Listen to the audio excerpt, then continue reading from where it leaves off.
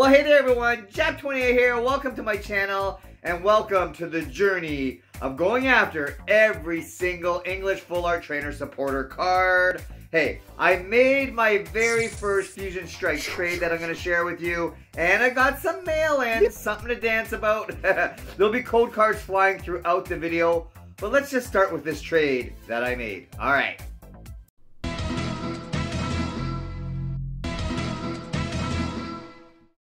All right, let's do this first Fusion Strike trade. I'm really excited. Thanks so much, Trainer T. Yeah, I gave up a full art Hoopa. Yeah, Hoopa such a weird character, and look what I got in return.